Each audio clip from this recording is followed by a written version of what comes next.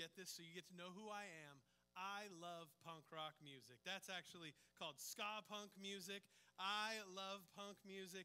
I I tell you, when we talk about reclaiming, I tell you, I've got, I've got friends that I know that, that Jesus is working on, and, and I can't wait for the day that they come to know Jesus, and, and they're going to go, wait, this all happened at a punk show? I'm going to go, yes, that's exactly how it happened, because I go and hang out with them, and I love them, and I, I can reclaim the people there and love them. I can ignore the, the crazy stuff that goes on, but Yes, mustard plug. And if you're wondering what in the world a mustard plug is, just imagine you've got a bottle of mustard and that dried piece on the top that when you open it up, that is a mustard plug. They decided to name their band after that. You can decide if they're good or not after that whole thing. But I am so glad to be here, Christ Church. Fountain Hills, I am from Surprise, which is way over yonder. I don't ever want to do this drive in traffic. Sunday morning was super easy. It was good. I'm going to I'm going to show my daughters the, the fountain. I haven't been out here for years, but we're going to go check that out afterwards. And they're actually volunteering in the. Uh, in the nursery right now because that, that's what they do. They're just servants at heart. So they're there uh, serving they didn't want to hear me preach twice. I'm going to actually just be real with you. They didn't want to hear me preach once. They, they sort of realized that we were driving past Portillo's on the way here, and they were like, Dad, we're going to get hot dogs, right? Like it made it all good. So, this is a picture of my family. It's at Splash Mountain. We were, we were there in, in September. I'm in the front. My son, who's 17, so enthusiastically behind me. Uh, he is just a ball of energy. Right behind him is his girlfriend. That's Maddie. And then the next one is Grace. And then there is Kayla with the crazy face. And all the way in the back, because she is way smarter than I, is my wife, Andrea. She knew when they put the 250 pound dude in the front of Splash Mountain, it was going to be just that. And I was drenched, and she was in the back going, I had no problem. You were digging into the water, and I was out of the water, and I never got wet. So that is my family. I wanted to let you know who they are so you're kind of seeing who I am. I have been on staff out in Surprise for about four years now. I'm also a high school guidance counselor. I'm a crazy bivocational guy. So, last two years, I've been leading uh, the church out there and working. Uh, at five days a week at Ironwood High School as a high school guidance counselor. I've been in education for 18 years. Um, God has called me to ministry, and I love it, and it's wonderful. And someday I pray that he'll call me out of the public school section, but he has not done that yet. So I'm going to be faithful and I'm going to stay. And I love working with my high school kids. And uh, so I get to do both. I'm going to tell you this screen, I'm just, just give you a little insight. I think Trent paid somebody because he was like, man, that screen's gonna be done. You're gonna get to use it first. Like, that's not fair. You come all the way over here and, and then it's not done. I don't know. I think he's waiting for it, but uh, it, it is good. One last thing before we get started. Got to tell you how important my family is. There's something that happens on important days, and I believe this is an important day. This is actually the first time that I've ever gotten to teach at a church outside of my little surprise home. And in 1967, my dad was a senior in high school, and he found out the day of graduation that he was graduating. And like any normal, you can decide how good of a student he was if he found out that day. But like any normal high school senior, to celebrate, he decided to go to Woolworth and buy orange socks to wear at graduation. So he wore these orange socks at his high school graduation, and they're wonderful. They're polyester, and and so then he decided if I wore them there, I'm going to wear them when I get married. So he wore orange socks when, when he married my mom. He, he wore them when he graduated from NAU. He wore them for 30 years on the first day of school as a teacher. When I was born, when my brother was born, when my brother got married, when I started teaching, he wore one sock and I wore the other socks. So I figure it's a big day. So check them out. Yes. These are the original polyester 1967 socks. There's a little bit of a hole in one of them. I just try to ignore it, but I'm kind of a sock guy and I can feel my toe moving and it freaks me out. They're sweaty. I can't wait. I brought a change of socks in the car so I don't have to wear them later. But I am so glad to be here with you today. And, and just get to, to see the other side of the family. I tell you, we love partnering with you over in Surprise. Things have been going great. It has been a wonderful two weeks that we have had of working as a team to, to put together the sermons. Trent threw me a tough one last weekend, but it was fun and we had a good time. And then Keith is actually in Surprise this weekend teaching there, and uh, people are really excited for that. So it's going to be great. We have seen a, a pretty significant boost in our attendance. Uh, in the last few weeks, and, and it is great. We cannot wait just to continue to get to know you guys and, and spend more and more time with you. We've got some, some great things planned. Would you stand with me as we uh, go through this teaching of Christ together? We're focused on Matthew 12, verses 1 through 8. It says, About the time Jesus was walking through some grain fields on the Sabbath, his disciples were hungry, so they began breaking off some heads of grain and eating them. But some Pharisees saw them do it and protested, Look, your disciples are breaking the law by harvesting grain on the Sabbath. Jesus said to them, Haven't you read in the scriptures what David did when he and his companions were hungry? He went into the house of God, and he and his companions broke the law by eating the sacred loaves of bread that only the priests are allowed to eat. And haven't you read in the law of Moses that the priests on duty in the temple may work on the Sabbath? I tell you, there is one here who is even greater than the temple. But you would not have condemned my innocent disciples if you knew the meaning of the scripture. I want you to show mercy not offer sacrifices. For the Son of Man is Lord, even over the Sabbath. Pray with me. Heavenly Father God, as we just learn from you today, Lord, I ask you to open our hearts. Allow your mercy to flow through us, that we can reach this world, that we can reach out to people that are far from you, that do not know who you are, that our love and uh, the, the love that you have for us just spreads through our lives and into theirs. God, I thank you for this day. Thank you for our gathering. Lord, be with each and every person who gathers in your name today, that your glory will shine through, that your name will be known, and you will change this earth forever. It's in your son's name we pray. Amen. Can you imagine walking through the fields? I don't know about you. I kind of am dorky. I like mu- musicals, and I just like get this disciples walking through, and it's a little like sound of music, like the hills are alive. I don't think they were singing, but I think they were cruising through. They had to have their arms out, feeling the grain. And there's no reason why the Pharisees are walking behind them except for to be stalking them, sneaking behind them. They, they have no interest in what is going on right now except for to look at these guys and find them doing something wrong. And as soon as they see them doing something wrong, they bring it up. Excuse me, excuse me, Mr. Jesus. Look, your disciples, they're harvesting on the Sabbath. But let's be real for a second. Are they really harvesting? Are they, are they working that hard? No, they're walking through and they're breaking off little tops of, of the grain and they're eating them. They're hungry. They're, they're hungry. That, that's it. See, the, the, the Pharisees are only focused on the rules and the regulations, the do's and the don'ts, the cans and the cannots. It's the letter of the law for them. And they felt like they had something that they needed to confront Jesus and his followers on. But see, Jesus, and I'm so thankful for Jesus, because he shows us how important people are. That the lives around us are more important than being slaves to tradition that the individual is more important than the tradition. See, when we talk about the Pharisees, there, there's some, it's so easy for us to just be like, man, they're bad. Do you see what they do? How, how, how mean they are, and how they're just trying to continually yell at people and, and tell them what they can and can't do. But have you ever noticed that we can become accidental Pharisees? You know, we don't intend to at all. But all of a sudden, we, we shift from the relationship to Jesus to just throwing out the cans and the cannots. That you can't do this, you can't do that.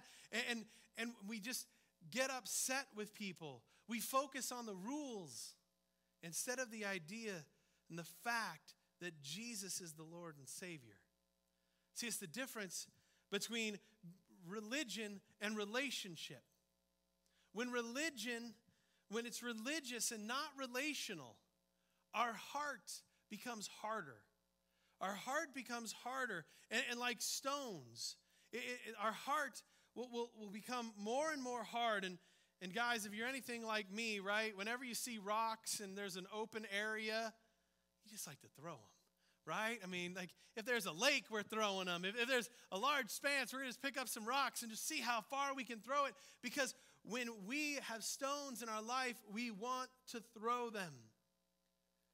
And like stones, stones are thrown and easily hurt, thrown at people to hurt them. Jesus says that, you know, we find the smallest things to point out. Jesus says it's so easy to find that speck of dust in someone's eye, but we miss the log sticking out of our own, right? Have you noticed in your life how easy it is to focus on the negative? Ladies, I'll call you out. Your husband, you know, does something really nice, you know, make, makes dinner for you, and, and you've had a long day at work, and, and he's made dinner for you, and, and, and you don't see that he made dinner, you see that he made a mess in the kitchen. And you completely miss that he did something caring for you, and you're like, but there's dishes. It's so easy to focus on the negative. My, my son is a 17 year old senior in high school. He's actually in Manhattan, Kansas right now, also with, with, boy, he's a lucky guy. He's with his mom and his two grandmas. They're all together. He's like, yes, this is how I want to visit college. But he's out there. He's out there for a scholarship weekend. You can be praying on that for me. He's in his second interview in about 10 minutes for, for a great scholarship at Manhattan Christian College. And my, my salary as a public school teacher hasn't done so great on the uh, saving for college fund. So uh, we're really hoping for this scholarship. But I'll tell you, this 17 year old boy, he's an amazing kid. He's a hard worker, he's funny, he works at QT. He's played basketball his whole high school career. He's a good leader, but he's 17 years old. Raise your hand if you've ever had a 17 year old. Anyone? Anyone? Okay, cool. After service, I'm going to talk to you because I don't know what to do. Holy cow. 17. See, when I focus on the rules, I could just be nailing this kid constantly. When I am stuck on the rules, it, he seems completely confused right now. Like, I, I, I tell him to do something, and he looks at me like, Have I ever done that before? Wait, what? What are you asking me? And I, I'm concerned about his hearing because I'll tell him to do something, and, and he says he can't hear me. And, and then I, will like I'll ask him to do the dishes, and he'll do them. And then I'll look at the pots and pans, and it's like, did you really? Did this touch water? What is happening? You know, we go into the bathroom after he cleaned it, and it's wiped down, Dad. I don't know. And and it's just crazy. And if I focus on the rules, on the what I've told him to do, man, I could beat him up all day long. I could just be constantly just telling, him, well, you didn't do this right, and you didn't do this right, and you didn't do this right. But when I start focusing on the relationship, when I start looking at who my son is and really thinking about the situation where he's at, see, I see it. See, it's, it's our first kid sending off to college, so our stress level's a little high at our house right now. I don't know why. My wife's already planned a graduation party. I figure it'll happen down the road. We don't need to worry about that. But there's a stress level that's pretty high. And then I realize I've already gone to school. When I left, when I went to school, I just went to NAU a couple hours away. He's going to Kansas. He's going to become a pastor. He's doing all this crazy things that we never thought would happen in our family and when I focus on the relationship, I see all the uncertainty, all the stress that he's carrying. And it makes me not want to beat him up so much and just, just mess with him about not being able to do, do the right thing. It makes me want to walk shoulder to shoulder with him, with my arm around him, going, hey, you know what? We'll get through this together. Because I promise you, if you talk to your Nana and Pop, I was an idiot when I was 17 too. Maybe when I was 22 also. I don't know. But you know, it makes me want to walk with him. It makes me want to do life with him. I want to draw him close to me. See, when we get caught up looking constantly at the bad in people or, or, or, the negative situations around us, it keeps our eyes off the truth. And the truth is, is Jesus is the way, the truth, and the life. And when we focus on him, we see love and we see mercy we're moved to include, not to exclude. We're moved to walk along with people. Our arms should open wider. We should be even more welcoming. Without Him, we find ourselves picking out the little things. I'd like to show you a video. The teacher wrote one math problem wrong, and then the next nine right, and everybody only focused on the one wrong problem. Have you seen that in the world? The person who makes one mistake, it might have been a big mistake. But do we ever forgive them? Does the world move past it, or do you just focus and label that person as that's the guy who did that? See, I just thank God that when we meet Jesus, our wrongs are forgiven, they're erased. But do we have that same focus when it comes to other people? Do we see that they may be making a choice that we know that God would, wouldn't approve of, but we can still come alongside them? We can still reach out to them. We are wired to see the negative things in life. Biologically, we respond to the negative things. It triggers our fight or flight mechanism in our body, and we respond to them. Years back, I was an elementary guidance counselor, and I had a group of seventh graders that were, well, horrible. That's just the way you describe them. And the teachers were really struggling. And the only thing they had was a card that they could write down the negative behaviors. And if there were a certain amount of negatives on the card, the kids would get a detention or a call home. And the behavior was not getting any better. The kids were f- flowing into detention. It was a frustrating time for these teachers. And I stopped them and I said, Here's the deal. When the only thing you have is a hammer, everything looks like a nail. When the only thing you have is a negative consequence, you did this wrong, everything looks like a nail, and I'm just going to hit you with it. And I said, What if we did this? What are some things you want to see? What do you want to see these seventh graders do? And they came up with a list of good behaviors, you know, like lining up quietly, walking into the room and getting started on their bell work, uh, doing their homework, um, you know, all these different things. They came up with this huge list. I said, How about we do this? Let's add another side to the card. Let's try to notice twice as many positive things that these kids are doing than negative things. Every time they do something good, let's encourage them about it. Let's, let's encourage them to do that. So we got these cards ready. I said, in two weeks, we're going to meet again. Let's, let's see how this goes. Two weeks later, I meet with the teachers. There were no positives written down. None. None. And I was like, wait, what, what, what's going on? Like, these kids did nothing right? And, and uh, I'm like, did they line up for class? Well, yeah, they're supposed to do that. They're supposed to do that. Yeah, we were going to encourage them to do that. Did, did, they, did they work on their bell work when they came into the classroom? Well, yeah, but that's the expectation. They're supposed to do that. Yeah, I know. We want them to do it, so we're going to encourage them to do it. And they're like, but that's just what they're supposed to do. And I'm thinking, oh man, I got to rethink this because this is all negative. That's the only thing they're focusing on is the negative. And I said, okay, here's the deal, you guys. This is what I want you to do. The next two weeks, I want you to build a relationship with these kids. I want you to start talking to them, find out what they do after school, who they are, what they love, what they dislike, all those things. Two weeks later, guess what? There were more positive things that happened. You want to know why? Because they were going, hey, I met this kid. I really talked to this kid. And did you know that his dad does, isn't even home at night? And his mom leaves for work at four o'clock in the morning, and, and he gets himself ready all by himself. And so, no wonder he needs a little attention in the morning. So I just started talking to him. And, and then he's now telling the joke in class and, and, and, and just being able to, to, to get some attention at the beginning of the day.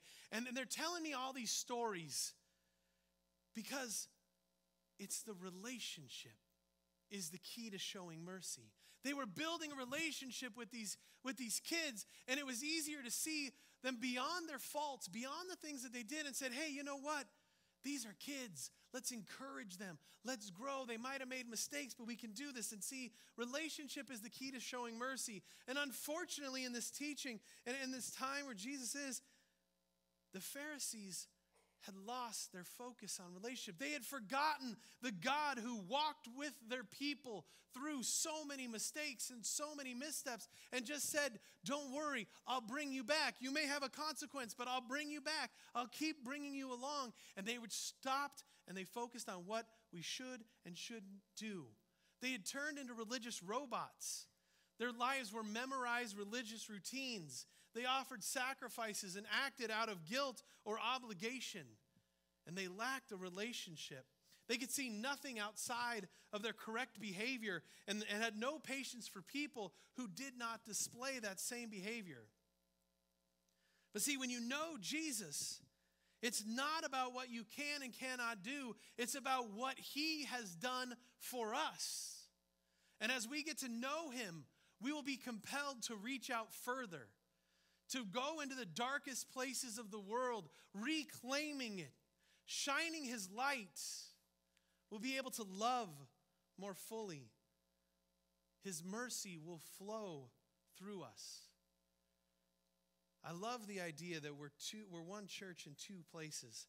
Today, I want to go over our mission for 2018. And I think it's great because I don't know most of you. And, and over in Surprise, Keith is, is teaching to a group of people that he doesn't know very well and saying that we are united in this. This is how we are going to move as a church. And our mission is one real passion. It's shown like this on our website each one matters. Be real and follow the passion of Jesus. As I share today, I want to break down our mission, our, our mission and show you how it lines up with showing mercy. The first part is each one matters. This means the church and the unchurched, the people who have accepted God's forgiveness and those who have not yet. Everyone matters. The people who sin just like us, the people who sin differently than us, they matter. As we grow in our relationship with Jesus, the people furthest away from Him should matter to us because He died for them also. Is your focus that wide? Is your focus that wide? Can you walk in to the darkest places and know that God loves these people? Though you may feel like you have nothing in common with them, can you share His love through your actions with them? Or are you fitting it into a narrow part that says, you know what, if I invited them to church, they'd fit in? Our grasp needs to be that wide. Colossians 2 16 through 19. So don't let anyone condemn you for what you eat or drink, or for, for not celebrating certain holy days, or new moon ceremonies, or Sabbaths. For these rules are only shadows of the realities yet to come.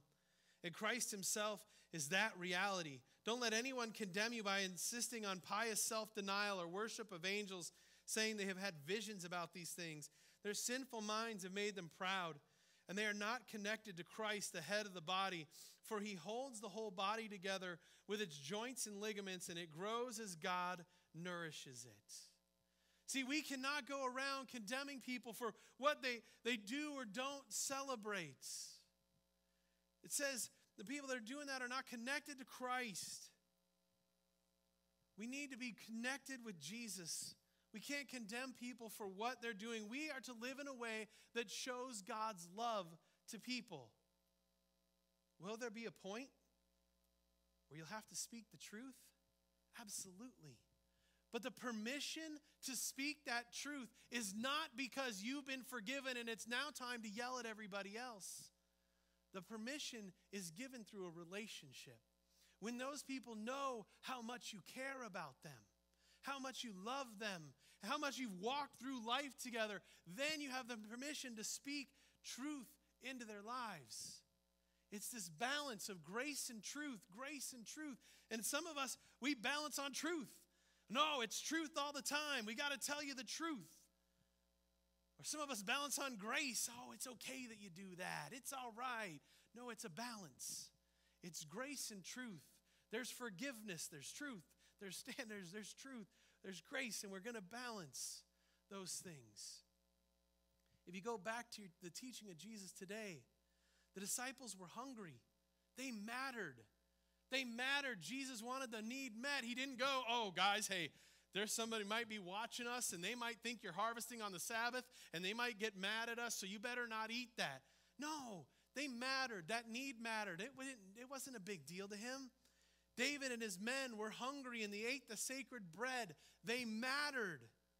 The person in their need mattered more. One of my favorite actions of Jesus is found in Mark 1, verse 40 and 42. It simply says, A man with leprosy came and knelt in front of Jesus begging to be healed. If you're willing, you can heal me and make me clean, he said. I love this. Moved with compassion. Jesus just moved with the love that he has for this man. Jesus reached out and touched him. I am willing, he said, be healed. Instantly, the leprosy disappeared and the man was healed. Why do I love this? Because this man should have been kept away from everybody. This man should have been out of the city gates. He shouldn't have been anywhere near touching people because of his disease. But he mattered to Jesus. Even more incredible, Jesus didn't need to touch him. Look at all the times that Jesus had healed him. He did it in all sorts of ways. He said, You've been healed. He spit and mud and made mud and rubbed things. And he did all sorts of He didn't have to touch this guy. But I think he touched him because he knew that the man needed it. The man needed that. After suffering from this disease, after being an outcast, he needed someone to reach out and touch him. Jesus had no fear of getting the disease, he cures these diseases. But he needed contact, someone to show him value. Family, who do you know that needs to be touched? Who do you know that need, you need someone to walk in with the compassion of Jesus and spend time with them in their lives, get to know them, get to know their difficulties. See, this is where it gets difficult, right? It, it, it's difficult to love people that are right around us in the same situation, making completely different choices. The last few years, we've done a lot of work in Haiti on the surprise side. And, and and we help support kids and, and everything. And I don't know about you, but do you ever find it easier to love people like in a foreign country that is a completely different situation? You know, it, their lives look so different than ours. It's like, oh man, they just need help. They need help. But then we look at our neighbors and they have the same type of house, they have the same type of job, but they're making decisions and their attitudes are so different than ours they almost meet our scorn.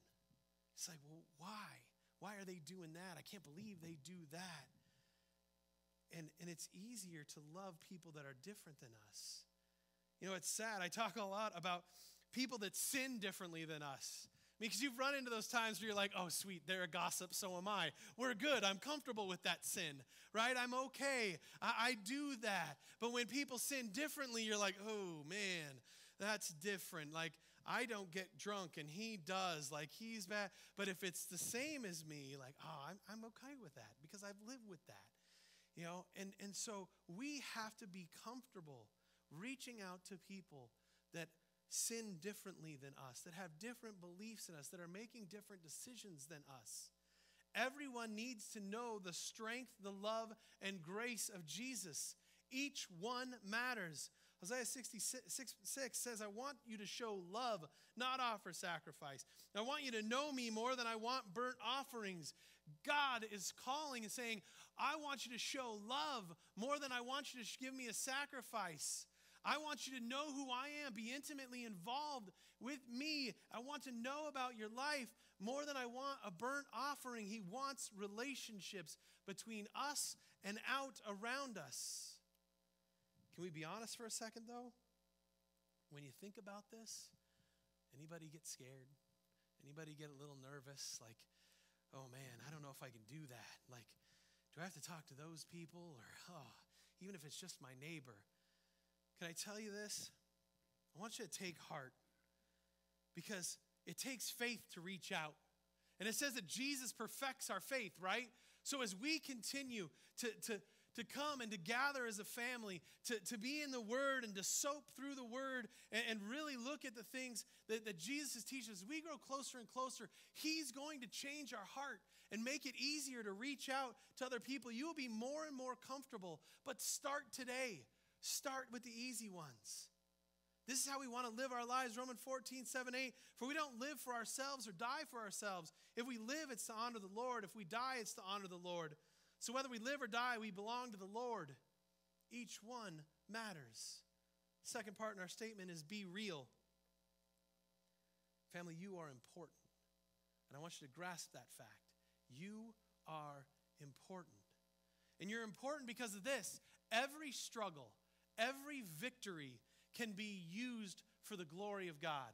Everything that you've gone through, those things that you think, no, I don't want to tell anybody about, that, that year that you, that 20 years, whatever it was, that you were steeped in sin and God has forgiven you, you need to use that to reach someone else. You are important.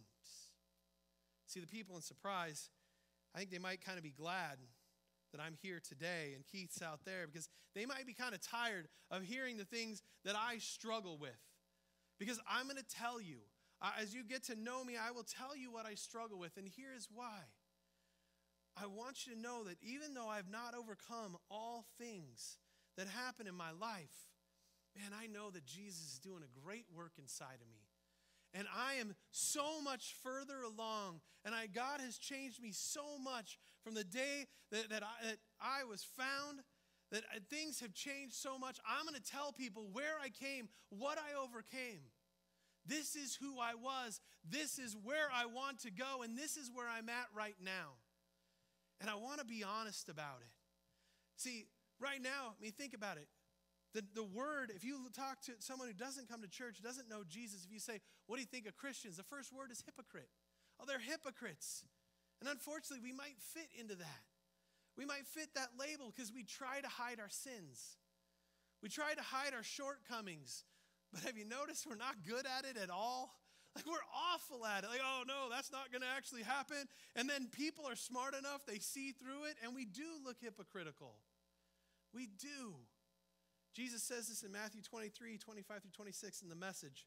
You're hopeless, you religions, religion scholars and Pharisees, frauds. You burnish the surface of your cup and bowls so they sparkle in the sun, while the insides are maggoty with your greed and gluttony. Stupid Pharisees, scour the inside, and then the, the gleaming surface will mean something. See, being real is not celebrating sin. It's not celebrating, hey, look at how sinful I am. No, it's not that. It's a sincere desire to know Jesus and to do what he calls us to do. It's an invitation to the world that says, I am not, but I know I am. It's an invitation that invites all people and says, Hey, come and do life with me as I cling to this cross. Let's cling to this cross together. Let's know that we don't have it perfect. And you and I, we could do life together all while depending on Jesus. That is how we are real.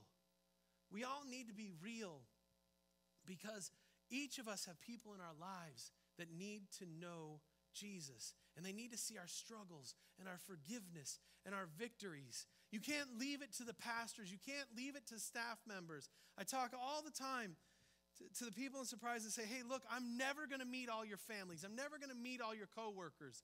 You need to represent Jesus as much as I do. Sometimes they're better at it than I am. It's amazing how that works. John 2 Oh, next one, sorry. Third thing is to follow the passion of Jesus.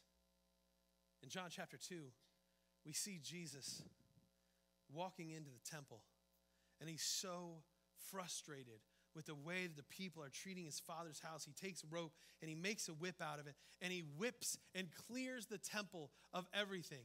He kicks some butt. He is so frustrated, clearing the people out.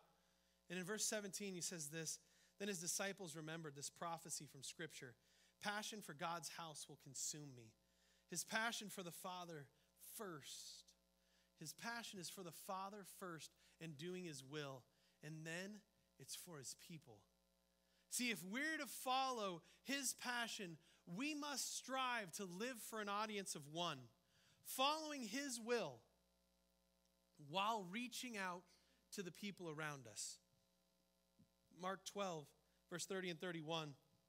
And you must love the Lord your God with all your heart, all your soul, all your mind, all your strength. The second is equally, equally important. Love your neighbor as yourself. No other commandment is greater than these. And I really wish Jesus would have stopped at the first one, right? Man, it's so much easier to love God. It's so much easier to love God. And then he throws in the love your neighbor, love people around you. So many of us, we got, you know, if I'm being real, I, am so much better at, at loving God And then there's those people that drive me crazy.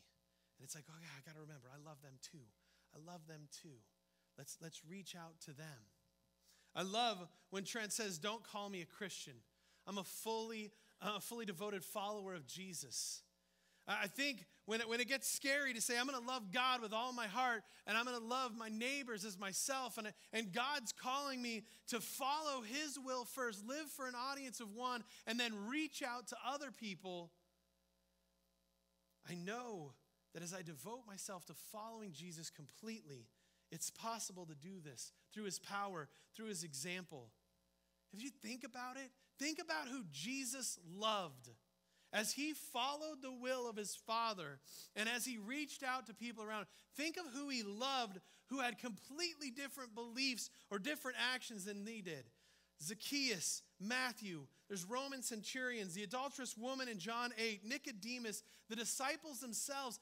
He was following the will, following the will of his father and reaching out and loving the people around them. And his passion for the Father and for the people changed their lives forever. And our passion for the Father and for people can change their lives as they see and experience the love and grace of Jesus. So, as we move forward, I want you to think about this. What do you pray for? As we look, one real passion what do you pray for? I know in my own life, I pray for the things that, that are so near and dear to me. You know, my, my prayer life is, is filled with my family, with, with my kids, with things that God has shown me that eh, they break my heart. I, I pray for teenagers. I, I, I spend five days a week with 2,000 teenagers I pray for teenagers and the struggles they go through, things that break my heart, things that are so important to me. I pray about them. The things that are closest to my heart are constantly in my prayer. The lost are constantly in my prayer. And I think the same thing is, is, is correct with you. It's the same, you guys have the same types of prayers, those things that you absolutely love. And so I think it's probably the same, the, true, the same thing is true when we look at Jesus' prayer. When we look at what Jesus prays about, it's those things that are near and dear to his heart. In Jesus' love for the Father and us, he prays like this in John 17, verse 20 and 23. I'm praying not only for these disciples, but all of us who will ever believe in me through their message. I pray that they will all be one, just as you and I are one, as you are in me, Father, and I am in you. And may they be in you, in us, so that the world will believe you sent me. I have given them the glory you gave me, so they may be, be one as we are one.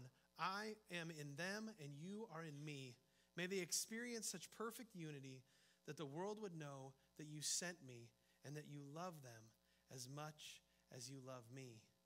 See, Trent has asked us to pray this continually as we move forward with two campuses, as we seek the unforgiven in Fountain Hills and the unforgiven in Surprise, the people who do not yet know Jesus, all the people that we come in contact with. See, that we will be united.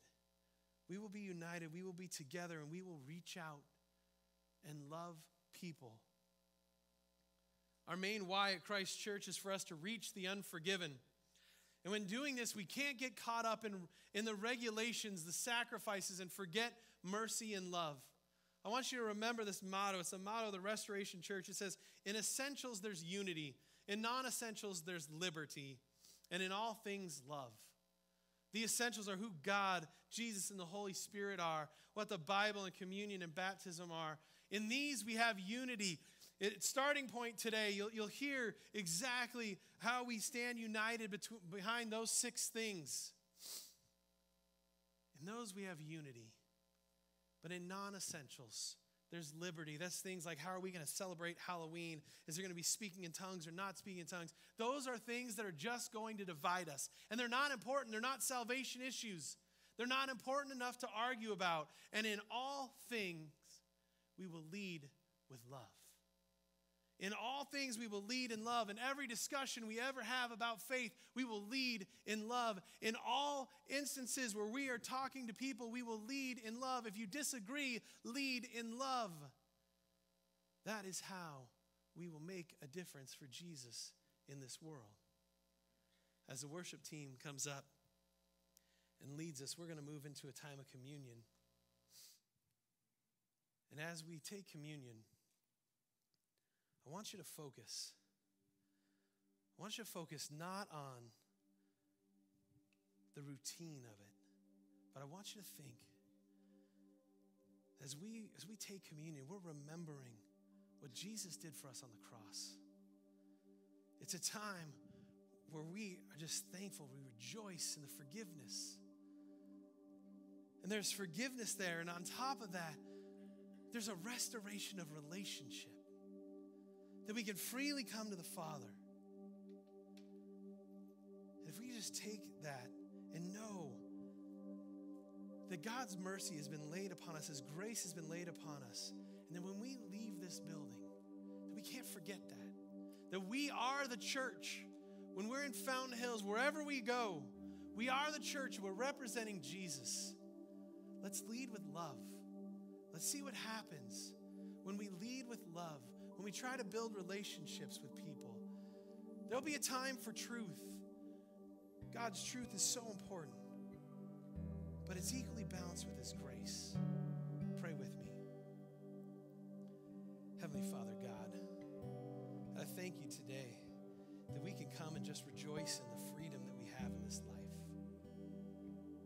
Lord, I thank you for setting us free from our sins, for breaking the chains. This truly is a glorious day. God, as we move forward in 2018, Lord, as whatever you have in store for Christ Church, God, help us to lead with love. Help us to show mercy. Help us to live in relationship with you. That our relationship with you and doing your will is our number one thing in our lives, Lord. Fill us with your spirit that will just go out and love people. We do your will, we love people, just constantly together. Help us to become natural at it. Perfect our faith. Allow us to reach out into the darkest places of the world. God, we thank you for your sacrifice. We thank you for your death on the cross, the death, burial, and resurrection,